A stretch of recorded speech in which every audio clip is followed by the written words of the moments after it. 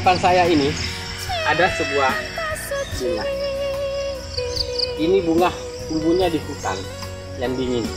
Sekarang karena akibat terlalu besar, ini ya bisa kita lihat. Nah, ini besar sekali, akhirnya dia jatuh ke tanah.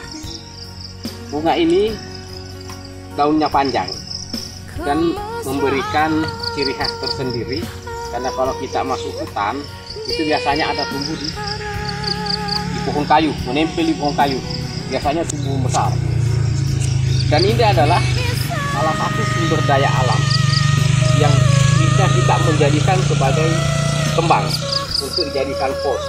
Sungguh luar biasa sungguh indah kita berada di lingkungan bebas di alam bebas yang penting bukan pergaulan bebas tapi tetap kita terikat. Oke semoga bunga ini bisa menjadi salah satu alternatif untuk hiasan di dalam rumah tangga kita atau di kantor-kantor. Terima kasih assalamualaikum warahmatullahi wabarakatuh Waalaikumsalam.